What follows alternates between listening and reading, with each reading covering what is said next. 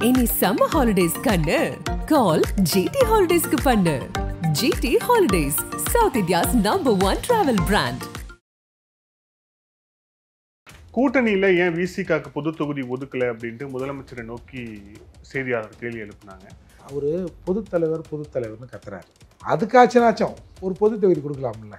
ஒரு பதிமூணு சதவீத மக்கள் ஓட்டு போட்டிருக்காங்க எனக்கு எஸ்சி மக்கள் அப்படின்னு சொல்கிறேன் அதுக்காகனாச்சும் ஒரு சீட்டை கூட்டி கொடுக்கலாம்ல.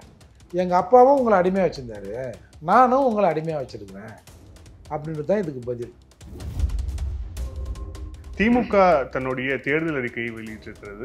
ஒட்டுமொத்தமா ரெண்டாயிரத்தி இருபத்தி நாலு நாடாளுமன்ற தேர்தலில் இந்தியா கூட்டணி ஒருவேளை மத்தியில் ஆட்சிக்கு வந்துச்சு அப்படின்னா என்னென்ன விஷயங்கள்லாம் அமல்படுத்துவோம் அப்படின்ட்டு அவங்க வந்து விரிவான தேர்தல் அறிக்கை வெளியிட்டிருக்கிறாங்க. முக்காவாசி திட்டங்கள் எதுவுமே நிறைவேற்றப்படல. ரெண்டு மாதம் கரண்ட் பில்லை ஒரு மாதமாக மாற்றுறேன். அப்படின்னு சொன்னார்ல.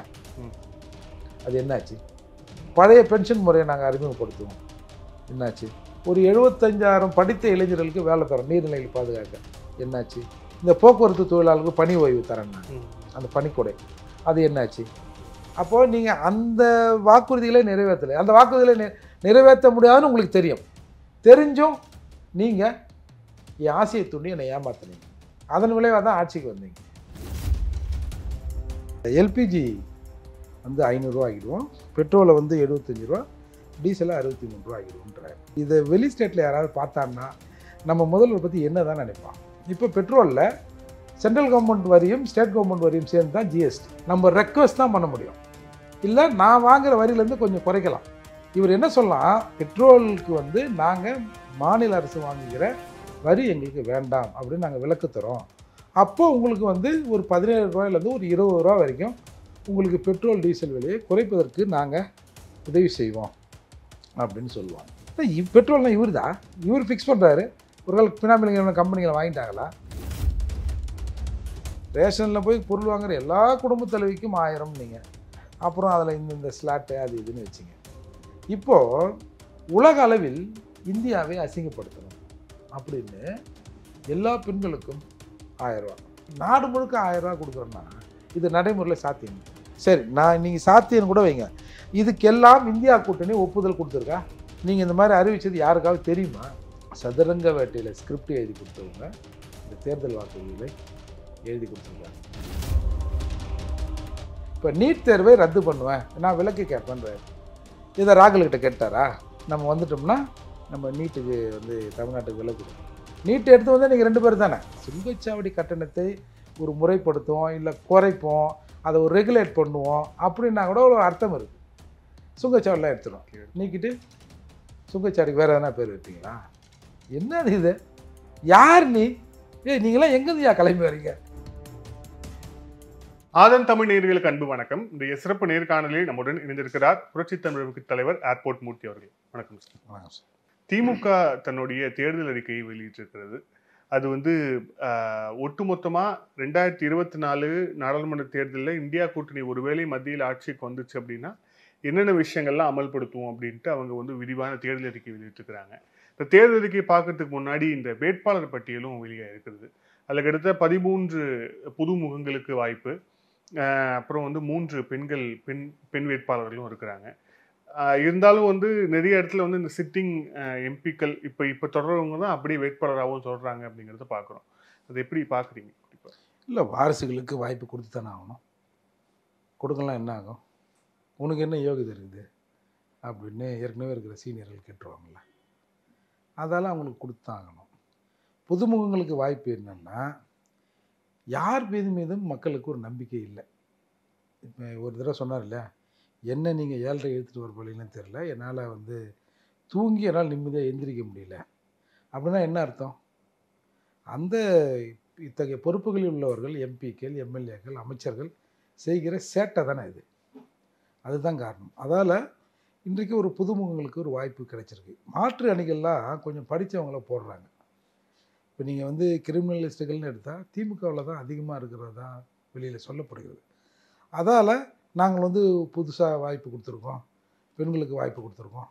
அப்படிலாம் சொல்கிறாரு பெண்களுக்கு வாய்ப்பு கொடுத்துருக்காருல முப்பத்தி மூணு சதவீதம் நாங்கள் வந்து சட்டமன்றத்திலும் பாராளுமன்றத்திலும் நாங்கள் அதற்கான இடஒதுக்கீட்டை கொடுப்போம்னு சொன்னார். நீ பெண்களுக்கு முதல்ல இடஒதுக்கீடு கொடுக்கலாம் உங்கள் கனிமொழி இருக்காங்கல்ல அவங்களுக்கு உரிய அங்கீகாரத்தை திமுக தருதா? ஒரு மாவட்ட செயலாளர்களில் ஒரே ஒரு பெண் தான் இருக்கிறாங்க. முதல்ல நீங்கள் இங்கே கொடுங்க.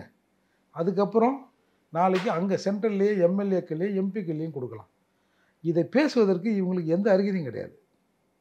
இந்த அதால் இவங்க எல்லாமே யாரோ எழுதி கொடுத்ததா யாரோ சொல்கிறாங்க இந்த வேட்பாளருங்க இப்போ இவராவா டிசைட் பண்ணுறாரு ஏற்கனவே திமுகவில் இருக்கிறவர்கள் கொடுக்குற ப்ரெஷர் தானே. இல்ல நேர்முக தேர்வு வச்சு அந்த வேட்பாளர்கிட்ட கலந்துரையாடி இதெல்லாம் கனிமொழியா இருங்க. கனிமொழிக்கு நேர்முக தேர்வு வைக்கிறாங்க.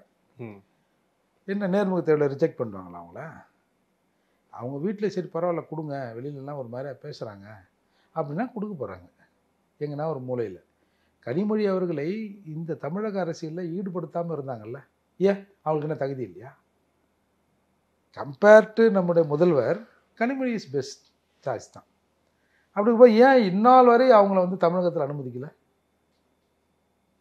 கனிமொழிக்குன்னு இங்கே வந்து ஒரு சாதிய சப்போர்ட் ஒன்று இருக்குது ஒரு பேக்ரவுண்டு இருக்குது அந்த பேக்ரவுண்டு இவரோட செல்வாக்கில் டிஸ்டர்ப் ஆகிடும் அப்படின்றதுக்காக தான் அவங்க டெல்லியிலே வச்சுருந்தாங்க. இப்போ தவிர்க்க முடியாமல் இங்கே வந்திருக்கிறாங்க. அதால் இது சொன்னாங்க இது வேட்பாளர் தேர்வுங்கிறதுலாம் என்ன வேட்பாளர் தேர்வுனா என்ன இது? இவங்களா உட்காந்து இன்னென்ன நேரம் முடிவு பண்ணிட்டு ஒரு ஃபார்மாலிட்டிக்கு கொடுக்குறது தானே? இல்லை அப்போ அந்த அந்த வேட்பாளருக்கு அந்த தொகுதியில் செல்வாக்கு இல்லை அப்படிங்கிறீங்களா? இப்போ ஸ்ரீபெரும்புத்தூரில் டிஆர் பாலு இருக்கிறாரு. இல்லை செல்வாக்கு செல்வாக்கு இல்லையான்றதை விட இவர்கள் கடந்த காலங்களில் இவர்கள் மீது ஒரு பெரிய அதிருப்தி இருக்குது எல்லா வகையிலும் இப்போ நீங்கள் ஒட்டுமொத்தமாங்க ஒரு இண்டிவிஜுவல் உண்மையிலே தூய்மையானவனா கூட இருக்கலாம் ஒருத்தர் ரெண்டு பேர். ஆனால் ஒட்டுமொத்தமான அரசாங்கத்தின் மீது இருக்கிற கெட்ட பேர் இருக்குல்ல அது எல்லாரையும் தானே பாதிக்கும். அப்பேற்பட்டு இப்போ இவங்க என்ன சிறப்பாக என்ன செஞ்சுருப்பாங்கன்னு நீங்கள் சொல்லுங்கள் நம்ம எம்பிக்கள் இருக்காங்க இப்போ நம்ம சார் இவங்க எதிர்க்கட்சி தானே அந்த அளவுக்கு என்ன செய்ய முடியும்னு நினைக்கிறீங்க? இல்லை ஒரு எம்பி தனக்கான வேலையாவது செய்யணும்ல சார். ஒரு எம்பி இப்போ நீங்கள் ஃபார் எக்ஸாம்பிள் திருமாவளம்லாம் கேட்குறாங்க நீங்கள் ஒரு எம்பியா இந்த தொகுதிக்கு என்னங்க செஞ்சீங்க? அப்படின்னு என்னை கேட்குறாங்க அவரே சொல்கிறாரு என்னை கேட்குறாங்க இன்னும் ஒரு எம்பின்னா ரோடு போடுறது லைட்டு போடுறது குளம் வெட்டுறது இதுதான் ஒரு எம்பியோட வேலையா? சட்டம் இயற்றுகிற இடத்தில் அந்த எம்பி என்ன வேலை செஞ்சாருன்னு பாருங்க. அப்படின்னு ஒரு பெரிய வார்த்தையை சொல்கிறாரு சாதாரணமாக ஓட்டு போடுற ஒருத்தனுக்கு இது என்ன விளங்கும்? அவனுக்கு எம்பிக்கு இந்த பவர் இருக்குதா கூட இல்லைன்னு கூட அவனுக்கு தெரியாது. அவனுக்கு என்ன நினைப்பான்? இப்போ என்னப்பா ரோடு காணோம்? என்ன எம்பி தொகுதி என்னங்க நம்ம ஆளுன்னு ஓட்டு போட்டோம் ஒன்றுமே காணுமே. அப்படி தானே அவன் இயல்பாக சொல்லுவான். அப்போ ஒரு எம்பி சட்டம் ஏற்றுக்கிறது அது வந்து சட்டப்படியான டெஃபினேஷன் அது. ஒரு எம்பின்னா அதற்கான டெஃபினேஷன் அது. எம்பிக்கான பணின்னா தொகுதியில் நிற்கணும்ல இப்போ ஒரு ஆறு தொகுதி ஆறு எம்எல்ஏ தொகுதிகள் வருதுன்னா ஒவ்வொரு தொகுதியிலும் ஒரு சட்டமன்ற ஒரு அலுவலகத்தை போடணும் எம்பி அலுவலகத்தை போடணும். மாதத்துக்கு ஒரு முறை தொகுதிக்கு போகணும். இதெல்லாம் தானே அடிப்படை. அப்போ இதை தானே அவன் எதிர்பார்ப்பான். இது இது இதுதான் அடிப்படைன்னு அந்த மக்களுக்கு தெரியலனாலும் அவனோட தேவை என்ன? என்னோட தேவையை ஒரு எம்பி எம்எல்ஏ பூர்த்தி செய்வார். அப்படி தான் ஓட்டு போடுறான். அந்த மாதிரி என்ன நடந்திருக்கு? வெகு மக்கள்கிட்ட பாவத்தை வாங்கி கொட்டினாங்களே தவிர ஒரு சிறப்பானவங்க இவங்க அப்படின்னு ஒன்றும் இல்லைல்ல. அப்படி இருக்கிற போது இந்த அதிருப்தியிலிருந்து இவங்களா முடிவு பண்ணி இவங்களா பிரித்து எடுத்துக்கிறாங்க. இதில் என்ன ஜனநாயகம் என்ன இருக்குது? இதில் கேட்டோம்னா வெளியில் வந்து பணம் கட்டினோம் சீட்டு கேட்டாங்க நேர்காணல் நடத்தணும். அதுக்கு தான் நான் உதாரணம் சொன்னேன் கனிமொழி. கனிமொழி நேர்காணல் பண்ணி ரிஜெக்ட் பண்ணுவாங்களா? ஏற்கனவே டிசைட் பண்ணது தானே. இல்ல அதிருப்தி இருக்குன்னு தெரிஞ்சிருந்தோம். கிட்டத்தட்ட வந்து ரிப்பீட்டடான நிறைய பேருக்கு வாய்ப்பு மீண்டும் வந்து வழங்கப்பட்டிருக்குல்ல. அது நம்ம எப்படி பார்க்கறது? அது வந்து திமுக வந்து இந்த தேர்தல் நிச்சயமாக நமக்கு வெற்றி இருக்கு அப்படிங்கறத அப்படிங்கறத அந்த நம்பிக்கையில போட்டிருக்காங்கன்னு சொல்லணுமா? இல்ல அவங்க ஏற்கனவே நல்லா தானே பெர்ஃபார்ம் பண்ணியிருக்காங்க. இப்போ எக்ஸாம்பிளுக்கு குறிப்பா சென்னையில பெருவெள்ளம் வந்தது. இந்த யாருமே வந்து எட்டி பார்க்கலன்னு ஒரு ஒரு விமர்சனமும் வந்தது. ஆனா தென் சென்னை மத்திய சென்னை அதுக்கப்புறம் வட சென்னை மூன்று இதுலையுமே இப்போ கரண்ட்ல சிட்டிங் இருக்க எம்பிக்கள் தான் அதே எம்பிக்களுக்கு தான் மீண்டும் வந்து வாய்ப்பு வழங்கியிருக்கிறாங்க திமுக. இது எப்படி அது எப்படி சரியான தேர்வாக இருக்கும்? அப்போ சொல்லுங்கள் ஏற்கனவே இவங்க செய்யலை இவங்க வரலை. சரி தமிழ்நாடு முழுக்க வரலன்னு வச்சுங்க. குறிப்பாக நம்ம குறிப்பிட்ட சில ஏரியாக்களில் சொல்லும். ஏன்னா விவரமானவங்க இங்கே தான் நம்ம வந்து சென்னையில் தான் கண்ணாமண்ணான்னு பேசின்னு இருந்தாங்க. இப்போ அதே ஆளை போட வேண்டிய அவசியம் என்ன? அப்போது இந்த வேட்பாளர் தேர்வை இவர் டிசைட் பண்ணல. கட்சியில் இருக்கிறவங்க உன் பிள்ளைக்கு கொடுக்குறல்ல. உன் பேரனும் வந்தாலும் நாங்கள் ஏற்றுக்கிறோன்னு சொல்கிறோம்ல அப்போ எங்கள் பங்குன்னா? அதாவது கொள்ளையில் ஏன் பங்குன்னா?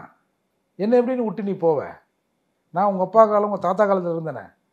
அப்படிங்கிற வாதத்திலிருந்து தான் சார் இது வருது. நீங்கள் இன்னைக்கு வாரிசுக்கு கொடுத்துருக்காம சொல்கிறோம்ல வாரிசோட அப்பாக்கள் அந்த பேர் தெரிந்த அளவுக்காவது இந்த வாரிசுகள் எம்பிஆர் மூணு பேர் இருந்திருக்காங்கல்ல. இவங்களோட பேர் தெரியுதா? இப்போ மத்திய சென்னையில் போய் நம்ம வீராசாமியோட புள்ள இருந்தார்ல. நம்ம வடசென்னை. வடசென்னை. அவர் அந்த எம்பியை கேட்டால் யாருக்கு அந்த பேராவது தெரியுமா?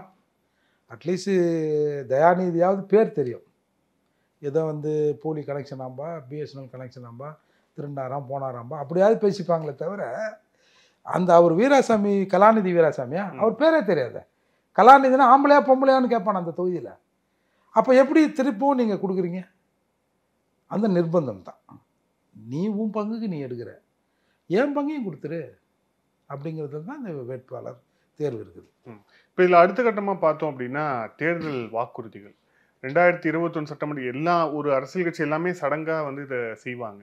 ஆனால் இதில் இந்த இப்போ திமுக வெளியிட்டக்கூடிய இந்த தேர்தல் வாக்குறுதியில் அடிஷ்னலாக ஒரு விஷயம் என்னென்னா ரெண்டாயிரத்தி இருபத்தி நாலில் இந்தியா நாங்கள் இருக்கக்கூடிய அந்த இந்தியா லைன்ஸ் மேலே வந்துச்சுன்னா நாங்கள் என்னென்ன செய்வோம்னு குறிப்பிட்டு ஒரு தேர்தல் அறிக்கை விரிவான தேர்தல் அறிக்கையாக வெளியாயிருக்கு.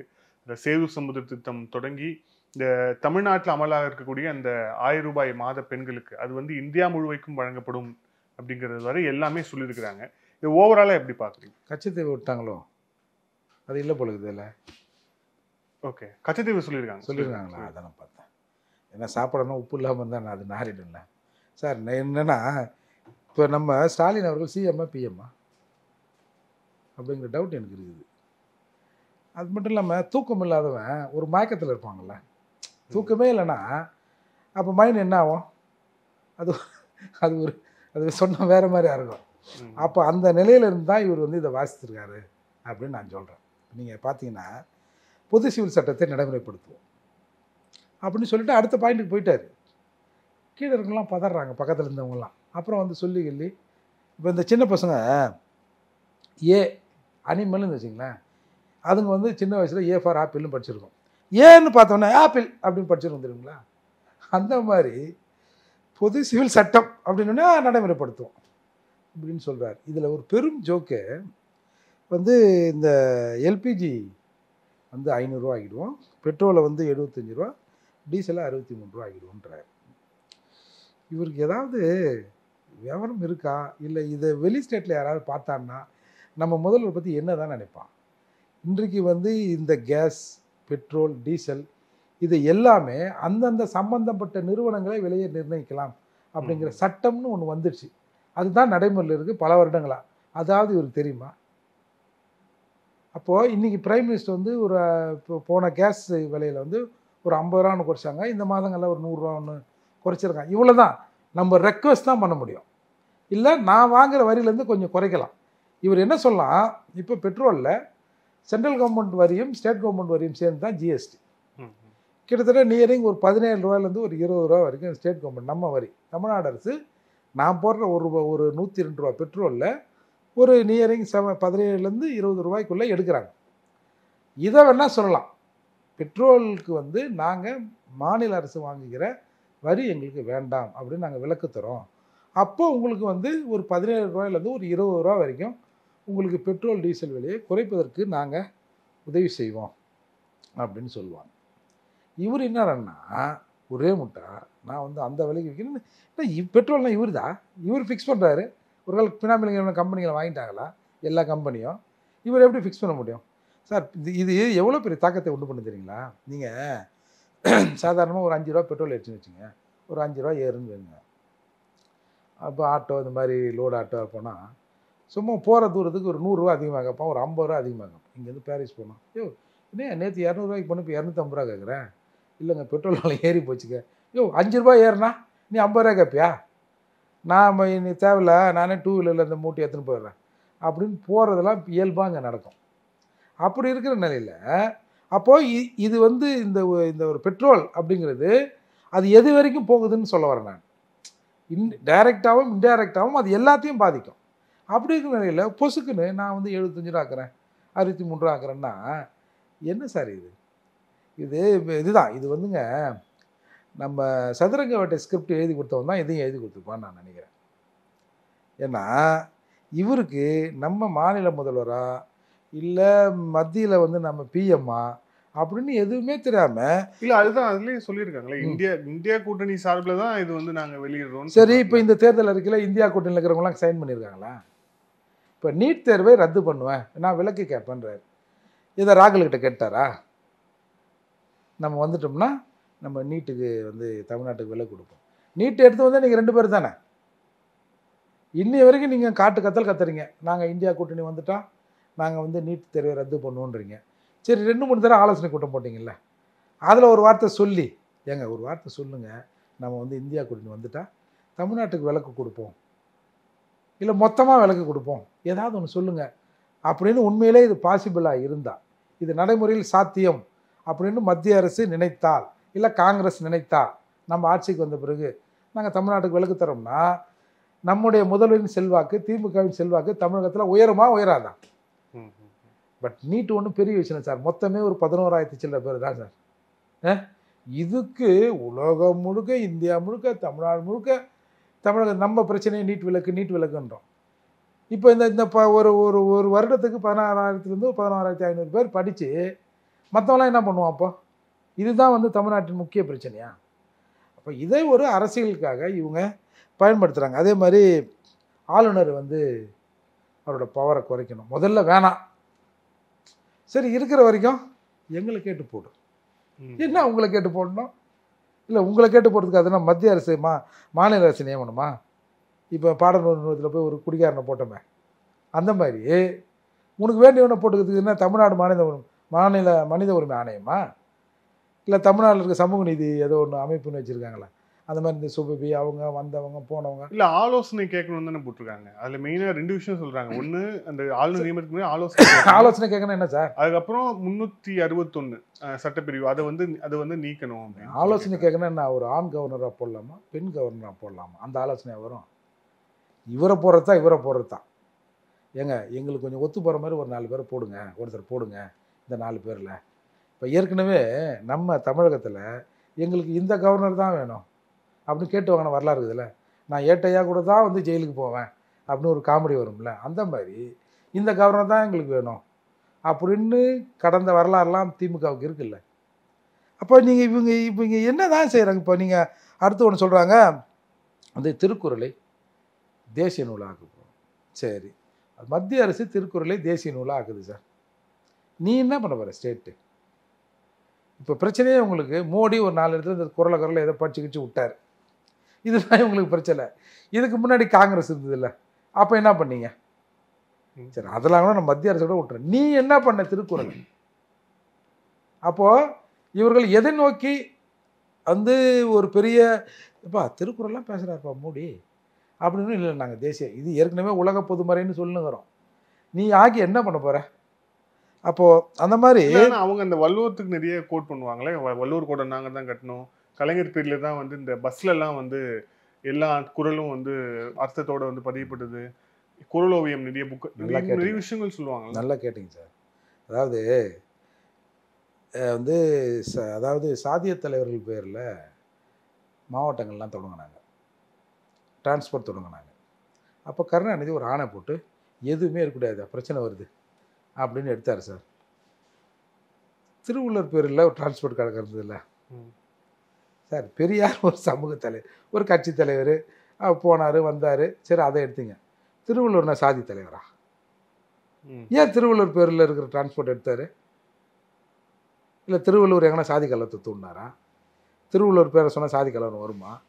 அப்போ இவர்களோட பார்வை திருவள்ளுவர் மீது எப்படி இருந்தது?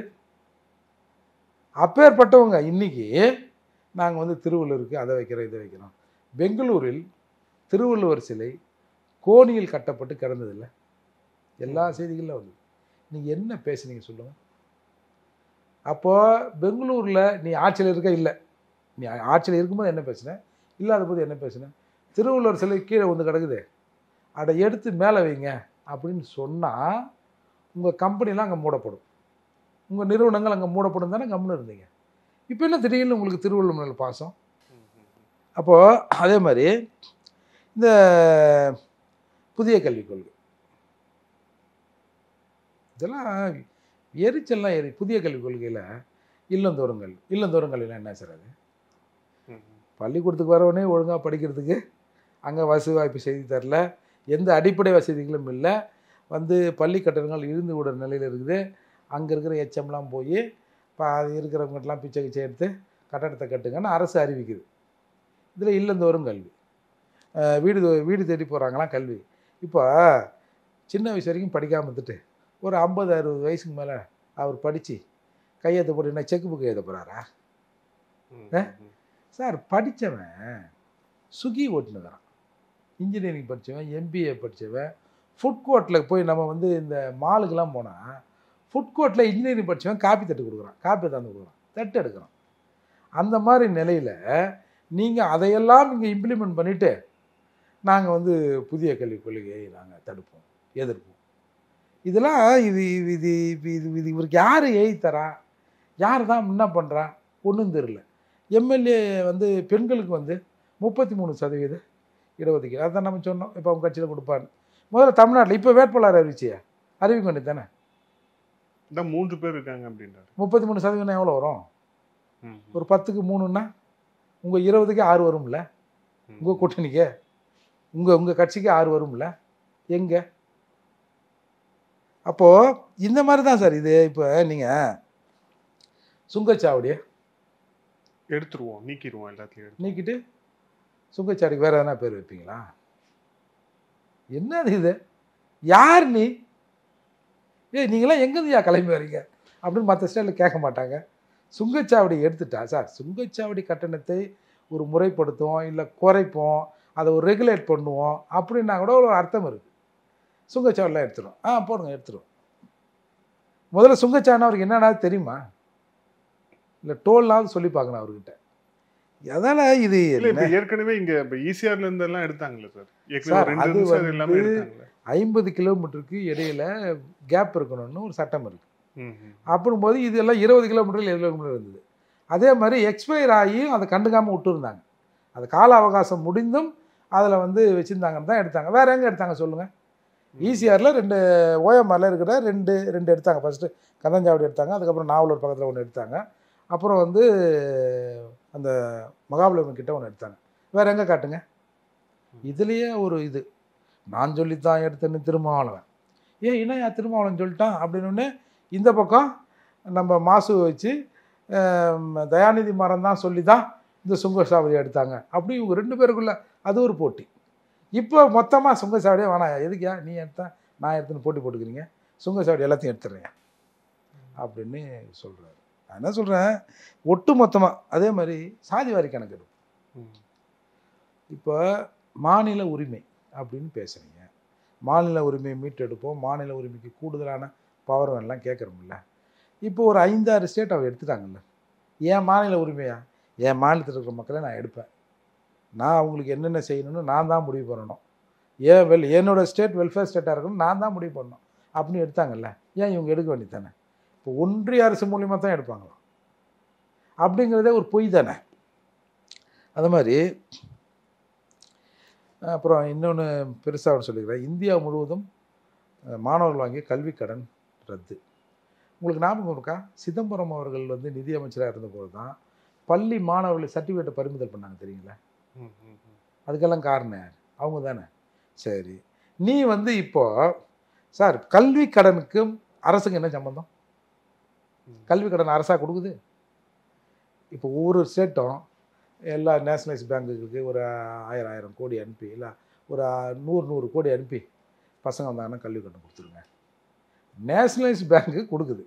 அதுக்கு அரசு பரிந்துரை பரிந்துரை செய்து ஒரு சட்டத்தை போடுறப்பா கல்வி கடன் கொடுக்கலாமா? கொடுங்கப்பா அப்படின்னு சொல்லுது. அப்போது கல்வி கடன் ரத்துங்கிறது என்னது? நீ அந்த காசை கொடுத்துருப்போறியா போறியா? சரி குறைஞ்சபட்சம் தமிழ்நாட்டில் கூட. போன தேர்தல் அறிக்கையில் நீங்கள் சொன்னீங்கல்ல நாங்கள் ஆட்சிக்கு வந்தோடனே கல்வி கடனை ரத்து பண்ணுவீங்களே என்னாச்சு அது? மூணு வருஷமாக அதை ரத்து பண்ண முடியலையா? அப்போ இதெல்லாம் நடைமுறையில் நடைமுறைப்படுத்த முடியாதுன்னு உங்களுக்கு தெரியுது. ஐயாயிரம் லட்ச ஐயாயிரம் லட்சம் கோடியா? அஞ்சு லட்சம் கோடி. அஞ்சு லட்சம் கோடி. கடனோட விட்டுட்டு போன அரசை இன்றைக்கு எட்டரை லட்சம் கோடியில் நீங்கள் திறம்பட நிர்வகித்து இருக்கீங்க தானே. அப்படி இருக்கிற போது அப்போ உங்களால் அதை அந்த நம்ம தமிழ்நாட்டில் அறிவித்த கல்விக் கடனை உங்களால் சரி பண்ண முடியல. அதை தீர்க்க முடியல. நீங்கள் எப்படி இந்தியாவுக்கே நாங்கள் ஒட்டுமொத்தமாக ஒன்று தமிழ்நாட்டில் இருக்கிற பொம்பளைங்களுக்கு எல்லாருக்கும் ஆயிரம். குடும்பத் தலைவிக்கெல்லாம் ரேஷனில் போய் பொருள் வாங்குற எல்லா குடும்பத் தலைவிக்கும் ஆயிரம் நீங்கள் அப்புறம் அதில் இந்தந்த ஸ்லாட்டு அது இதுன்னு வச்சிங்க. இப்போது உலக அளவில் இந்தியாவை அசிங்கப்படுத்தணும் அப்படின்னு எல்லா பெண்களுக்கும் ஆயிரம் ரூபா. சார் எ- எந்த நாட்டில் வந்து இப்போ இப்போ வெளிநாட்டிலேருந்து ஒருத்தன் இன்வெஸ்ட் பண்ணுறாங்கன்னா ஒரு தொழில் தொடங்க ஒரு வெளிநாட்டு முதலீடுகள் வருதுன்னு வச்சுக்கோங்க. ஐயோ அந்த நாடே பிச்சை எடுக்குது பொழுது அவன் ரேஷனு ஆயிரம் ஆயிரம் ரூபாய் கொடுத்து ஜனங்களுக்கு வாழ்கிறதுக்கு பொருள்களில் வாங்குறதுக்கு அந்த நாடு ஹெல்ப் பண்ணுது. அங்கே போய் நம்ம தொழிலை தொடங்கினா அவன் கொள்ளக்காரனாவும் கொள்ளக்காரனா மாட்டான்னா என்னையா பண்ணுறதுன்னு ஒரு சிந்தனை வருமா வராது? இது நம்ம ஸ்டேட்டில் கொடுத்ததே அசிங்கம். நம்மளை பார்த்து கர்நாடகா கொடுத்தது நம்மளை பார்த்து ஆந்திரா கொடுத்தது. அப்போது நீ ஒரு ஆந்திராவில் சந்திரசேகர் ராவ் அந்த ஆந்திராவிலேருந்து பிரித்து தனி தெலுங்கானாவை கொண்டு வர்றார். ஆந்திராவில் அந்த தெலுங்கானாவில் வேலை செய்கிற தெலுங்கர்கள் ஆந்திர மாநிலத்தை சேர்ந்தவர்கள் இங்கே இருக்கக்கூடாது. ஏன் மாகாணத்தில் இருக்கிற மட்டும்தான் அங்கே இருக்கணும்? ஏற்கனவே இந்த பிரச்சனையால் தானே நாங்கள் வந்து வந்து இந்த ஸ்டேட்டை பிரித்தோம் ஒட்டுமொத்தமாக ஆந்திராவை சுற்றி இருக்கிறவங்களுக்கு தான் அரசு வேலையில் இருக்கிறாங்க. நாங்கள் புறக்கணிக்கப்படுறோன்னு இப்போயும் நான் அங்கே வேலை செய்கிறீங்கன்னு பிரித்து அனுப்புகிறதா நம்ம பார்த்தோம் சார். அப்போ அந்த மக்களுக்கான ஒரு அங்கீகாரத்துக்காக அந்த மனுஷன் போராடி வாங்கினார். அவர் தேர்தலில் இந்த தடவை தோத்தார்ல காங்கிரஸ் என்ன வாக்குறுதி கொடுத்தது? ரெண்டாயிரரூவா தரோம் மாதம் ம், அப்போ இலவசங்களை கொடுத்து மக்கள் தங்கள் உரிமைகளை விற்கிறான் இழக்கிறான் தானே அர்த்தம். அந்த மாதிரி நாடு முழுக்க ஆயிரம் ரூபா கொடுக்குறோன்னா இது நடைமுறையில் சாத்தியமா? சரி நான் நீங்கள் சாத்தியம்னு கூட வைங்க. இதுக்கெல்லாம் இந்தியா கூட்டணி ஒப்புதல் கொடுத்துருக்கா? நீங்கள் இந்த மாதிரி அறிவிச்சது யாருக்காவது தெரியுமா? அதுக்கு தான் நான் சொன்னேன். இது வந்து இந்த சதுரங்க வேட்டையில் ஸ்கிரிப்ட் எழுதி கொடுத்தவங்க இந்த தேர்தல் வாக்குறுதிகளை எழுதி கொடுத்துருக்காங்க. சரி. நம்ம ஏற்கனவே நம்ம வந்து சட்டமன்ற தேர்தலுக்கு ஒரு தேர்தல் அறிக்கை கொடுத்தோம்ல. தொண்ணூத்தொம்பது சதவீதம் நிறைவேற்றிட்டோம் ஒன்றே ஒன்று நீட்டு நிறைவேற்றலைன்னு நீங்கள் அப்போ அது அது உண்மையா அது? கிட்டத்து முக்காவாசி திட்டங்கள் எதுவுமே நிறைவேற்றப்படல. நீங்கள் நீங்கள் நம்ம இன்டீரியலாக போகலனா கூட ரெண்டு மாதம் கரண்ட் பில்லை ஒரு மாதமாக மாற்றுறேன். அப்படின்னு சொன்னார்ல. அது என்னாச்சு? எல்லாரையும் பாதிக்கிற விஷயம். பழைய பென்ஷன் முறையை நாங்கள் அறிமுகப்படுத்துவோம். என்னாச்சு? ஒரு எழுபத்தஞ்சாயிரம் படித்த இளைஞர்களுக்கு வேலை தரோம் நீர்நிலைகள் பாதுகாக்க. என்னாச்சு? அந்த மாதிரி பல விஷயங்களை சொல்லலாம். நீங்கள் வந்து இந்த போக்குவரத்து தொழிலாளர்களுக்கு பணி ஓய்வு ம். அந்த பணிக்கொடை. அது என்னாச்சு? அந்த மாதிரி வந்து இப்போ நீங்கள் இந்த ஒரே வேலைக்கு ஒரே சம்பளம். வாத்தியாருக்கெல்லாம் நாங்கள் அந்த சம்பளத்தை சரி பண்ணிடுறோம். அப்படின்னு சொன்னாங்க. டிபிஐயில் போராட்டம் நடந்த போது நூற்றி எண்பத்தி ஒன்று நூற்றி எழுபத்தி ஏழு முந்நூற்றி பதினொன்று அட்டையை பிடிச்சி நின்றதை நம்ம பார்த்தோம். அப்போது நீங்கள் அந்த வாக்குறுதிகளை நிறைவேற்றலை. அந்த வாக்குறுதிகளை நி- நிறைவேற்ற முடியாதுன்னு உங்களுக்கு தெரியும். அதாவது புதிய பெ- பென்ஷன் திட்டம் வந்த பிறகு பழைய திட்டத்தை அறிமுகப்படுத்த முடியாதுன்னு உங்களுக்கு தெரியும். நடைமுறைப்படுத்தவே முடியாது அப்படின்னு தெரியும். தெரிஞ்சும் நீங்கள் என் ஆசையை தூண்டி என்னை ஏமாத்தினீங்க. அதன் விளைவாக தான் ஆட்சிக்கு வந்தீங்க. அப்போது இந்த திட்டங்கள் ஒரு பதிமூணாயிரம் மக்கள் நலப் பணியாளர்களை போடுறோன்னு நீங்கள் யார் அந்த மக்கள் நலப் பணியாளர்கள் திமுக அரசில் கலைஞரால் அவங்க கட்சிக்காரங்களுக்கு பெரும்பான்மையாக முன்னுரிமை கொடுத்து இந்த அரசு இந்த ஊராட்சிகளில் நலத்திட்டங்களை மேற்பார்வையிடுவதற்கு இந்த நூறு நாள் வேலை நடந்தால் அந்த மாதிரி நலத்திட்டங்களை மேற்பார்வையிடுவதற்கு மக்கள் நலப்பணியாளர்கள் ஒருத்தர் போட்டிங்க. அடுத்து வந்த ஜெயலலிதா அம்மையார் நீங்கள் போட்டிங்கன்றதுக்காக அவங்கள இதில் முறைகேடு இருக்குது அது இருக்குன்னு நிறுத்துகிறாங்க இப்போ நீங்கள் என்ன சொன்னீங்க? நாங்கள் வந்த உடனே அந்த பதிமூணாயிரம் பேருக்கும் வேலை தரேன் நீங்கள் இப்போ கலைஞர் ஆட்சியில் போராட்டம் பண்ணாங்கல்ல? எல்லாரும் வலுக்கட்டமாக தூக்கி போய் போட்டிங்கல்ல? அப்போ உங்களுக்கு இது தெரியுமா தெரியாதா? இந்த பதிமூணாயிரம் பேருக்கு நம்ம வேலை கொடுக்க முடியும் அப்படின்னு நீங்கள் யாருக்கிட்ட கேட்டீங்க? அதே மாதிரி இந்த கொரோனா காலத்தில் வேலை செஞ்ச அந்த செ செவிலியர்களை நான் பர்மனன்ட் பண்ணுவேன் நீங்கள் இன்னமும் செவிலியர்கள் போராட்டம் நடக்குது. நீங்கள் கொடுத்த வாக்குறுதிகள்லையே நிறைவேற்றாமல் பல வாக்குறுதி இன்னும் கிடக்கு. அப்படி இருக்கிற போது அதை வச்சு ஏமாற்றி வாங்கிட்டீங்க. நீ ஏற்கனவே ஒருத்தரை ஏமாத்துறல திருப்பி நாங்கள் ஏமாறுவோமா? இப்போ இதை படித்து பார்க்குற அவங்க ஏம்பா என்னப்பா இது ஏற்கனவே இதில் கொஞ்சம் சொன்னதெல்லாம் முன்னாடி சொன்ன மாதிரி இது. ஒன்றையும் காணுமே அப்படின்னு நினைப்பானா? நினைக்க மாட்டானா ஆக இது வந்து முதல்வருக்கு தெரியாமல் அவரை ஏமாற்றி எழுதி கொடுத்ததா தான் நான் பார்க்குறேன் ம், ம். இல்லை முக்கியமான விஷயமா நிறைய இந்த கச்சத்தீவு மீட்பாகட்டும் அப்புறம் இந்த சேது சமுதிர திட்டமாகட்டும் அதுக்கப்புறம் வந்து கவர்னர் மீது இந்த சட்ட நடவடிக்கை அவருக்கான சட்ட பாதுகாப்பு இன்மை இருக்க இருக்கக்கூடாது அவர் மீதும் சட்ட நடவடிக்கை எடுக்கணும் ஆகட்டும். இந்த வாக்குறுதிலாம் எப்படி பார்க்குறேன் சார் இதை வந்து மத்திய அரசு சொல்லணும் சார். இது பார்லிமெண்ட்டில் நிறைவேற்றப்பட வேண்டிய விஷயம் சார் இது. முதல்ல அத்தைக்கு மீசை முளைக்கிட்டோம். முதல்ல ராகுலுக்கு நம்பிக்கை வரட்டும். நாம் வந்து ஆட்சிக்கு வந்துடுவோம் அப்படின்னு வரட்டும். அப்புறமா நாங்கள் கேட்டு வாங்குறோன்னு சொல்லுங்கள் நீங்கள் நீங்கள் தமிழ்நாடு நீங்கள் இந்தியாவில் எவ்வளோ மாநில அரசுகள் கலைக்கப்பட்டிருக்கு? நூற்றி ஐந்து முறை காங்கிரஸ் மாநில அரசுகளை கலைத்திருக்குது. யாரை வச்சு கலைச்சிருக்கு? ம். கவர்னரை வச்சு கலைச்சிருக்கு. அப்போ நீங்கள் அப்பேற்பட்ட கொள்கை உள்ள கட்சிக்கிட்ட போய் கொஞ்சம் கவர்னர்லாம் வேணாங்க அப்படின்னு சொல்ல முடியுமா இவங்களால? ம். அதிகமாக பயன்படுத்துறது நீங்கள் தானே. உங்கள் ஆட்சியே ரெண்டு தடவை கலைஞ்சது இல்லை. அவங்க தானே கழிச்சாங்க. வேறு யார் கழிச்சா? அவங்க தானே பண்ணாங்க. அப்போது இதையெல்லாம் நடைமுறையில் இல்லை. நீங்கள் ஒன்றும் இல்லை. சரி அப்படியே இல்லை இது நடைமுறைப்படுத்துவோன்னா நீங்கள் நாளைக்கு இந்தியா கூட்டணி ஒரு தேர்தல் அறிக்கை வெளியிடும்ல. இல்லை காங்கிரஸ் வெளியிடும்ல. இந்த சேர்த்துருங்க பார்ப்போம் ஒன்று விடாமல் இதை சேர்த்துருங்க சார். ஒரு ரெண்டு மூணு வேணால் விட்டுருங்க. ஒன்று விடாமல் சேர்த்துருங்களேன் பார்ப்போம் அப்போ இவங்க இந்தியா தமிழ்நாட்டில் இருக்கிற மக்களை ஏமாத்துறோன்னு இந்திய அளவில் வந்து இந்த தேசத்தையே அசிங்கப்படுத்துகிறாங்கன்னு தான் நான் சொல்லுவேன். என்னோட பார்வை. இதை இது பார்க்குற போது ஒரு அறிவுள்ளவர்கள் இந்த நாட்டின் பொருளாதாரத்தை பற்றி தெரிந்தவர்கள் இந்த நாட்டு அப்படி கூட சொல்ல வேணாம் பெரிய வார்த்தை பொருளாதாரம் அது இதுன்னு. இந்த நாட்டை நடப்பை பற்றி தெரிஞ்சவன் எழுதின தேர்தல் அறிக்கை இது இல்லை அப்படின்னு இயல்பாக சொல்லிடுவாங்க. கூட்டணியில ஏன் விசிகாக்கு பொது தொகுதி ஒதுக்கல அப்படின்ட்டு முதலமைச்சரை நோக்கி செய்தியாளர் கேள்வி எழுப்புனாங்க. அதுக்கு முதலமைச்சர் சொல்லும்போது அது வந்து எங்க ரெண்டு கட்சிக்குள்ள நாங்க வந்து ரொம்ப சுமூகமா பேசி முடிச்சிட்டோம். அது சம்பந்தமா எந்த ஒரு பிரச்சனையும் இல்லை. அது பிரச்சனையே இல்லை அப்படிங்கிறதால இந்த கேள்விக்கான அவசியமே இல்லை அப்படின்னு பதில் வச்சிருக்காரு. ஏன்னா அந்த விஷயத்தை பத்தி நீங்க கேள்வி எழுப்பினதால இந்த கேள்வி. இல்லைப்பா கேள்விக்கு எழுப்ப வேண்டிய அவசியமே இல்லைன்னா உங்கள் ரெண்டு பேருக்குள்ளே முடிஞ்சு போச்சு அது. அப்படிதான் முதலமைச்சர் என்ன. மாதிரி முடிஞ்சுது? சமாதானமா முடிஞ்சிருச்சு. அதான் என்ன சமாதானம்? பரவாயில்ல பரவாயில்ல. நீ பார்த்துக்கோ பொது தொகுதியெல்லாம் வேணாம் நான் எங்க ஆளுன்னு நினச்சேன். அது வேற மாதிரியா போய் நிற்கும் பொழுது. சீட்லாம் அவனுக்கு தரவானா? யாருக்கு நம்ம சீட்டு கேட்குறேன்னு வெளியில் எல்லாரும் பேசினாங்களோ? நாங்கள் முந்தானத்து இருந்த நிலைமை வேறு. அதுக்கு போன வாரம் இருந்த நிலைமை வேறு. இன்னைக்கு இருக்கிற நிலைமை வேறு. அதால் திரும்ப அவனுங்களாம் நீ கேட்காத நாங்கள் பார்த்துக்குறோம் அப்படின்னு எதாவது உடன்படிக்கை ஆகி போச்சா? நீங்கள் அவர் பொதுத்தலைவர் பொதுத்தலைவர்னு கத்துறாரு. அதுக்காச்சுனாச்சும் ஒரு பொது தொகுதி கொடுக்கலாம்ல. ஒரு பதிமூணு சதவீத மக்கள் ஓட்டு போட்டிருக்காங்க எனக்கு எஸ்சி மக்கள் அப்படின்னு சொல்கிறேன் அதுக்காகனாச்சும் ஒரு சீட்டை கூட்டி கொடுக்கலாம்ல. ஆ? அப்போது நீங்கள் என்ன நினைக்கிறீங்க? அந்த அவங்களே சொன்னாங்களே எங்கள் அப்பாவும் அடிமை வேலை செஞ்சார். திருமாவளவன் அவங்க அப்பாவும் அடிமை வேலை செஞ்சார். நாங்களும் அந்த வேலை தான் செய்வோம். அப்படின்னு விசிகா பொறுப்பாளர் ஒருத்தர் பேசுனதை நம்ம பார்த்தோம்.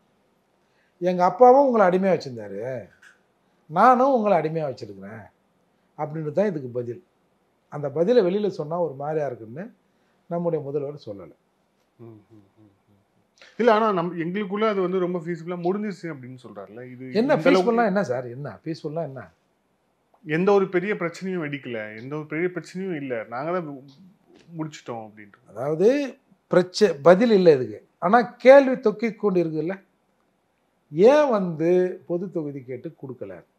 அப்படின்ற கேள்வி இருக்கு. நீ பதில் ஒன்றா நீ சொல்லாமல் போ. இந்த கேள்வி இந்த தேர்தலில். இது தொடர்ந்து அடுத்த தேர்தல் வரை இந்த கேள்வி கேட்டுக்கொண்டே இருக்கப்படும் இந்த சோஷியல் இன்ஜினியரிங்னு ஒரு வார்த்தையை பயன்படுத்துகிறாங்க குறிப்பாக வந்து பாஜக கூட்டணியில் சம்மந்தமாகவும் சரி மற்ற கூட்டணி சம்பந்தமாகவும் சரி. ஒரு சமூகத்தை சேர்ந்த அந்த சமூகத்தை சேர்ந்த ஒரு தலைவரை வந்து அந்த கூட்டணியில் வச்சுக்கிட்டா அந்த சமூகமே நமக்கு வாக்களிக்கும் அப்படிங்கிற மாதிரியான நடைமுறை தான் காலகாலமாக போயிட்டு இருக்கு அது ஆக்சுவலி உண்மைதானா? இது வந்து ஒரு பொதுவான ஒரு கேள்வியாக கூட வச்சுக்கலாம். இல்லை அது உண்மைதான் சார். நீங்கள் உண்மைதான்னா அப்போ வந்து அதே சமூகத்தை சேர்ந்த இன்னொருவர் இன்னொரு இடத்துல இருப்பாரு. அதே சமூகத்தை சேர்ந்தவர் இன்னொருத்தர் இங்க இருப்பாரு. இப்போ எக்ஸாம்பிள் இப்பவே வந்து கிருஷ்ணசாமி வந்து அதிமுக கூட்டணியிலையும் ம். ஜான் பாண்டியன் பாஜக கூட்டணியிலும் இருக்காரு. இப்போ அந்த சமூகம் வந்து யாருக்கு ஓட்டு போடுவாங்க? சரி இப்போ கிருஷ்ணசாமி கிட்ட அவரோட கட்சியில் யார் இருக்கா? தொண்டர்களாக பொறுப்பாளர்களாக யார் இருப்பா? ஒருத்தர் ரெண்டு பேர் வேற ஆள் இருப்பாங்க. பெரும்பான்மை யார் இருப்பா? அந்த சமூகம் தானே. ஜான் பாண்டியன்கிட்ட யார் இருப்பா? கட்சி அதாவது நான் இன்ன ஆள் இன்ன சமூகம் இன்ன சமூகத்துக்கான கட்சி நான் இந்த சமூகத்துக்கான தலைவர் நான் அப்படின்னு சொல்கிறவங்ககிட்ட இருக்கிறாங்க. டிடிவி தினகரன் இருக்கார். ம், அவர்கிட்ட யார் இருப்பா? ஓபிஎஸ் இருந்தார்ல. அவர் யாரோட பிரதிநிதியாக சொன்னாங்க? ஏன் இப்போ இருக்கிற எடப்பாடியாரை யாரோட பிரதிநிதியாக சொல்கிறாங்க திருமாவளவனை நீ ஆயிரம் சொல்லு. நான் பொதுத் தலைவர் பொதுத் தலைவர் பொதுத் தலைவர் நான் சுப்பிரமணி சுப்பிரமணி சுப்பிரமணின்னு சொல்லு. மயில் கேட்கும்போது சப்பானி தான் கூப்பிட்றாங்க. அப்படின்னு தான் சொல்லி ஆகணும். அப்போது ஒட்டுமொத்தமாக இந்த இங்கே நம்ம தமிழ்நாட்டில் தமிழ்நாட்டிலலாம் இந்திய அளவில் இந்த தேர்தலில் நிற்க வைக்கிறது சாதியின் அடிப்படையில் தான் நிற்க வைக்குது. இப்போ நீங்கள் தூத்துக்குடியில் ஏன் கனிமொழி நின்னாங்க? எவ்வளவோ தொகுதி இருக்குது வீடு இங்கே சென்னையில் இருக்குது. இது தென் சென்னை இருக்குது மத்திய சென்னை இருக்குது. வட சென்னை இருக்குது. ஏன் அங்கே நிற்க வேணாம்ல? ஏன் தூத்துக்குடி கொண்டு போகிறாங்க சப்போஸ் திமுக தூத்துக்குடியில் இப்போ தூத்துக்குடினா ஒரு குறிப்பிட்ட சமூகம். ஏன் வெளிப்படையாக சொல்லுவேன் நாடார் சமூகம். பெரும்பான்மையாக இருக்கிறதா வெளியில் சொல்லப்படுது இல்லை அப்போது மற்ற கட்சிகள் எல்லாம் ஏன் தமிழிசை அங்கே போட்டாங்க. ஒரு தேசிய கட்சி. இப்போ தமிழிசையை தென் சென்னையில் போட்டால் தெரியாதா? ஏன் கொண்டு போய் அங்கே போடுறாங்க? அப்போது பெரும்பான்மையான பெரிய கட்சிகள் எல்லாமே எந்த ஒரு குறிப்பிட்ட சாதி மக்கள் அங்கே பெரும்பான்மையாக இருக்கிறாங்களோ அங்கேயே எல்லா வேட்பாளரையும் போடுறாங்க. ஆனால் யாரோ ஒருத்தர் தான் தேர்ந்தெடுக்க போகிறாங்கன்னு வச்சுங்க. இது எப்படி போய் நிற்குன்னா சப்போஸ் திமுக அந்த நாடார் தொகுதியில் இல்லை ஒரு தேவர் தொகுதியில் உதாரணத்துக்கு நம்ம நாடார் தொகுதியை வைப்போம் தூத்துக்குடியே வைப்போம். தூத்துக்குடியில் கொண்டு போய் ஒரு வேறு ஒரு சமூகத்து ஆளை போட்டாங்கன்னு வச்சுங்க. போடக்கூடாதுன்னு சட்டம் இல்லை. போட்டால் அந்த பகுதி மக்கள்லாம் பேசுவாங்க பத்தியா நம்ம நாடார்கள் வந்து இவ்வளோ பெரும்பான்மையாக இருக்கிறோம். இந்த கட்சி பத்தியா நம்மளேருந்து ஒரு ஆளை வந்து வேட்பாளராக போடாமல் நம்மளை அசிங்கப்படுத்துகிற மாதிரி வேறு ஒரு ஆளை போடுது பத்தியா? அப்படின்னு ஒட்டுமொத்தமான சமூக மக்களும் அவங்களுக்கு அந்த ரெண்டு மூணு நாடார்கள் இருந்தாங்கன்னா அதில் யாருக்காவது ஒருத்தர் போட்டுருவாங்க. நீங்கள் தமிழ் தேசியம் பேசுகிறாருல ஒரு தம்பி இருப்பார் இங்கே கூட பேட்டிலாம் கொடுத்துருப்பார். நம்ம செந்தில் மலர் பேரை சொல்லுவோமே. இதில் இருக்கு லிங்கம் அவர்களை தென்காசியில் நிற்க வைக்கிறாங்க தென்காசியில் பெரும்பான்மையாக பல்லர் சமூக அதாவது தேவேந்திர குல வேளாளர்கள் இருக்கிறாங்க பறையர்களும் இருக்கிறாங்க கம்பேர்ட் டு தேவேந்திர குல வேளாளர் இவங்க கொஞ்சம் கம்மி. தொடர்ந்து எல்லா கட்சிகளும் பல்லர் வேட்பாளர் தான் போடுவாங்க கம்யூனிஸ்ட்டு ஒரு தடவை இந்த போன தேர்தலுக்கு முன் தேர்தல் லிங்கம்னு நினைக்கிறேன். அவர் போட்டாங்க சார். சார் இவங்க கூட்டம் போட்டு தீர்மானம் போட்டு என்ன சொல்கிறாங்க இந்த வேட்பாளரே உடனே வாபஸ் வாங்கணும் இங்கே இருக்கிற தேவேந்திர குல வேளாளர்கள் யாரும் ஓட்டு போட மாட்டாங்க. அப்படின்னு தீர்மானம் பண்ணி இவருக்கு எதிராக பிரச்சாரம் பண்ணுறாங்க. அப்போ ஒரு சாதிக்குள்ள பிரிவிலேயே இப்படி இருக்கு. அப்ப லிங்கம் வந்து பரையர்ஸ் கம்யூனிட்டி. மிக கடுமையான எதிர்ப்பு மிக கடுமையாக அவதூறு பண்ணாங்க. கேட்டால் நாங்களாம் தமிழர்கள் தமிழ் தேசியம். இங்கே இருக்கிற தமிழ் குடிகள்லாம் ஒத்துமையாக இருக்கணும். அப்படின்னு சொல்கிறவங்க கூட உட்பிரிவில் ஒருத்தன் ஏற்றுக்க மாட்டான். இன்ஃபேக்ட் நான் தென்காசி நின்னப்போ ஓட்டு கட்டு போயினே இருப்போம் சார். இப்படி இப்படி நேராக போயிட்டு லெஃப்ட்டு திரும்பணும்னு வச்சுங்க அங்கே ஒரு ரெண்டு பேரும் உட்காந்துருப்போம் ஏங்க உங்கள் ஆட்கள் அதோட முடிச்சிட்டாங்க. அப்படின்னு சொல்கிறது யார். ஊர் திருக்கான்னு சொல்ல மாட்டான். அஹ் தேவேந்திர குல வேளாளர்கள் சொல்லுவாங்க. இதுதான் எதேச்சையான நிலை. இதை புரிஞ்சுக்கிட்டு தான் எல்லா கட்சிகளும் இதை வந்து பண்ணுறாங்க இப்போ ஒரு ஒரு கூட்டணியிலும் ஒரு அம்பேத்கர் கொடி இருக்கணும் இல்லை என்னப்பா? எஸ்சி ஆளுங்க யாரும் இல்லையோ அதில்? அப்படின்றதுக்காக வம்படிச்சு கொண்டு வந்து சேர்க்கறது தான். இப்போ திருமாவளவன் வந்து பறையர் தலைவர்னா அப்போ தமிழ்நாட்டில் இருக்கிற எல்லா பறையரும் திருமாவளவன் சொல்லி ஓட்டு போட்டுருவாங்களா? நீங்கள் மக்கள் நல கூட்டணியில் நின்னோம். எவ்வளோ ஓட்டு வாங்கணும்? மூன்றரை சதவீதமோ நாலு சதவீதமோ தேமுதிக ஓட்டு. மிச்சம் ரெண்டு தானே? ரெண்டு ரெண்டை தானே வந்தது. பிச்சு பிச்சு பார்த்தா ஒரு சதவீதத்துக்கும் கீழே தான். ஓட்டு வாங்குறோம். அப்போது ஒரு சதவீதம் கீழே இருக்கிறவருக்கு எதுக்கு நீங்கள் திமுக கூட்டணியில் இடம்? அப்படிங்கிற ஒரு கேள்வி வரும்ல. யோ நீங்கள் தனியாக நின்று எவ்வளோ தானே வாங்கினீங்க? ஆனால் எங்களை புறக்கணிச்சிட்டாங்க. திமுக இந்த சமூகத்தை புறக்கணிச்சிச்சு. அப்படின்னு ஒரு பேர் வந்துடக்கூடாதுக்காக எல்லா கட்சிகளும் இதை பார்க்குறாங்க. ம், ம். அதன் அடிப்படை இப்போ நீங்கள் நம்ம அதிமுக இருந்தது. எல்லாம் தேவர் கட்சி தேவர் கட்சின்னு சொல்லியிருந்தாங்க. என்ன ஜெயலலிதா அம்மையார் தேவரா? ஒரு குரூப் அங்கே இருந்தது. உடனே என்ன சொல்லிட்டாங்க? நாங்கள் போராடி அங்கேருந்து மீட்டிங் வந்திருக்கிறோம். புரியுதா. தேவர்கிட்ட இருந்து போயிட்டு இன்னைக்கு வந்து நாங்கள் வந்து கவுண்டர்கள் இந்த கட்சி கைப்பற்றுகிறோம். எந்த காரணம் கொண்டும் விட்டுறக்கூடாது. அப்படின்னு எதாச்சும் நிலவுதில்லை. அதே மாதிரி தமிழகத்தில் எல்லா ஒவ்வொரு காலகட்டத்திலும் எல்லா கட்சிகளும் ஒரு சாதியின் பேரால் தான் அடையாளப்படுத்தவும். அண்ணாதுரை இருந்தபோது திமுகவுக்கு என்ன பேர்? முதலியார் கட்சி. அப்புறம் கருணாநிதி வந்த பிறகு அது வேறு மாதிரி மாறிடுச்சுன்னு வச்சுங்க இப்போ பெரியார் கட்சி என்னன்னு சொல்லுவாங்க. நாயுடு கட்சின்னுவாங்க அப்போதுலேருந்து. ம், இப்போ சரத்குமார் இருக்காரு. சரத்குமார் சமத்துவ மக்கள் கட்சியா? சமத்துவம் கமத்துவம் தானே சொல்லியிருந்தாரு. என்ன சமத்துவம் அதில் இருந்தது? நாடார்களை தவிர பெரும்பான்மை எந்த சமூகம்? இல்லை இல்லை அவர் சமத்துவம்னு சொல்கிறாரு வேல்முருகன் இருக்காரு. தமிழக வாழ்வுரிமை கட்சி. அதில் மெஜாரிட்டியான பீப்புள் யார். அப்போ இது தமிழக அரசியலில் இது தவிர்க்க முடியாது. அதை வந்து நாம் வந்து இவங்க கிட்ட இருந்தால் குத்தம் இல்லை அவங்க கிட்ட இருந்தால் குத்தம் அப்படின்னு எப்படி சொல்ல முடியும்? இப்போ கன்சிராம் சொல்லுவார் சாதியாய் சேருவோம் சாதிகளாய் சேருவோம். இன்னும் அந்த பெரிய மனுஷன் போய் சாதியாக சேரணுன்றாரு அப்படின்னு சொல்ல முடியுமா? இல்லை கன்சிராமை விட இந்த சமூகத்தை நேசித்த ஒரு மாமனிதனை யாராவது காட்ட முடியுமா? எவனுங்க அடித்தட்டில் இருக்கிறானோ அவனை தூக்கி நிறுத்தினார். ஏன் நீங்கள் பிஜேபி கூட உறவு வைக்கிறேன்னு கேட்டாங்க. நான் பயன்படுத்த பார்க்குறேன் அப்படின்னு சொன்னார். இவர்களோட ஒப்பந்தத்தை இவர் வந்து மீறுறாரு. அடுத்து பிஜேபிக்கு ஆட்சி அமைப்பதுக்கு நான் ஒத்துக்க மாட்டேன்றாரு. அப்போ அவங்களாம் கேட்குறாங்களே என்னங்க ஒரு பெரிய மனுஷன் இப்படி துரோகம் பண்ணி நீங்கள் எவ்வளோ நாளாக துரோகம் பண்ணியிருக்காங்க எங்களுக்கு எவ்வளோ பேர்? இது என்ன ஒன்று தானே? அப்படின்னு சொன்னார். அப்போது நான் வந்து தெளிவானவன் என் என்னை யாரும் பயன்படுத்த முடியாது. நான் பயன்படுத்துவேன் சமூக மக்களுக்காக. அப்படின்னு சொன்னார் இல்லையா? அதன் அடிப்படையில் ஒவ்வொருத்தரும் இயங்குறாங்க. அப்படி தான் நம்ம இதை பார்க்கணும். இது வந்து இன்னும் இவங்கக்கிட்ட இன்றைக்கி சாதி அமைப்புகள் இருக்கிறதால இப்படி சொல்கிறாங்க இப்போ நீங்கள் ஒரு வாட்ஸ்அப் ஒன்று வந்தது பார்த்தீங்களா இப்போ. இப்போ திமுக கூட்டணியில் இருக்கிற அந்த கொங்கு கட்சி போல காதல் திருமணம் குறித்து ஒரு சர்ச்சையான கருத்து சொல்கிறேன். சார் நான் என்ன சொல்கிறேன் நான் கூட இந்த காதல் திருமணத்துக்கு வந்து அவ்வளோ ஒன்றும் ஆதரவானவன் இல்லை. அது தேவையில்லாத விஷயம் நான் பார்க்குறேன் இருந்தாலும் அந்த உரிமைக்கு வந்து நம்ம வந்து கூட நிற்கணும் சொல்கிறான் அந்த ஆள் வந்து இந்த மாதிரி காதல் திருமணம் பண்ணால் நாங்கள் பகிரங்கமாக பண்ணுவோம். உன் கருவிலேயே கருவறுப்போம்னு சொல்கிறோம் அவன் தான் இன்றைக்கி வேட்பாளராக அறிவிச்சிருக்காங்க ம். அப்போ இது அவங்களுக்கு தெரியாதா? ஏன் அவனை சேர்க்குறாங்க? அந்த சமூகத்தை விட்டோம்னா அந்த சமூகம் விட்டு ஊந்துடாது நமக்கு. அதால இதில் கொஞ்சம் பேர். அதில் வந்து ஒரு ஃபார்மாலிட்டிக்கு வைக்கிறாங்க. மக்கள் யாரை விரும்பி போடுறாங்களோ. அவங்களுக்கு இப்போ ரெண்டு தலைவர் ஒரே சமூகத்தில் ரெண்டு தலைவர் இருக்காங்கன்னா சரி இவன் சொல்லி கொஞ்சம் பேர் அவன் சொல்லி கொஞ்சம் பேர் பொதுவானவங்க கொஞ்சம் யோசித்து போகிறவங்களாம் இருப்பான்ல. இப்போ ஒரு கம்யூனிட்டி இருக்குன்னா அந்த கம்யூனிட்டியில் இருக்கிற எல்லாரும் அந்த சாதி சங்கத்தில் இருப்பான்லாம் இல்லை இல்லை. கொஞ்சம் பேர் இருப்பான் கொஞ்சம் பிரச்சாரம் பண்ணுவான். அதை விட மெயினாக ஒரு அவதூறு பேச்சு கிளம்பிடும். ஏய் நம்ம சாதியை விட்டான் பாரு அந்த கட்சிக்காரன். அப்படின்றதுக்காக இந்த அங்கீகாரத்தை கொடுக்குறாங்க. நன்றி சார். பல்வேறு கேள்வி விழிச்சுங்க thank you sir thank you so much